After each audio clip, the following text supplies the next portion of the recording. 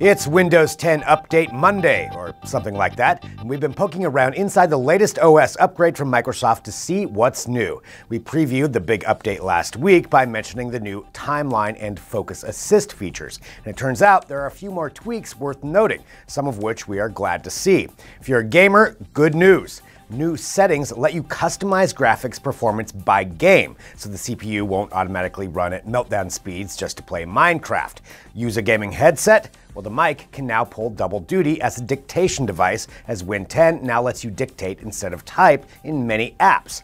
Nice. There are more tweaks waiting in the Edge browser and more internal support for progressive web apps to match the existing frameworks from Google, Apple, and so on. There's lots more to learn about the April update, so check out all the goodies at the link. Who is the second largest vendor of Android devices in the world? It's Chinese tech company Huawei. Samsung is number one, and after the US government effectively choked off Huawei's attempt to sell phones and tablets through American cell phone carriers, the company says that the rumors they're building their own OS to supplant Google's Android are indeed true, and they've been working on the project since 2012.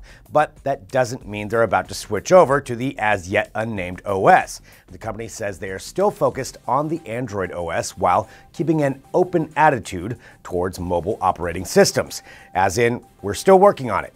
But seeing how both iOS and Android are heavily app driven, introducing a third OS is a daunting challenge with a high failure rate. Just ask Microsoft.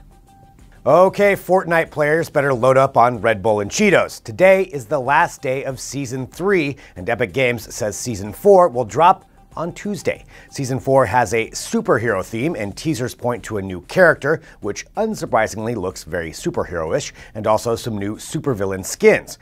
The comet, or spaceship, or alien invasion force, or both, is still incoming and very close now. It'll probably start season 4 off tomorrow with an expected bang and good reasons to power up those superhero skills. Brace for impact. Hey, check out all the Fortnite predictions at the link. And for the rest of the day's tech news, head on over to digitaltrends.com. Check out our Facebook page and YouTube channel. And don't forget to tune into all of our podcasts on iTunes or wherever you get yours. Thanks for watching. We'll see you tomorrow.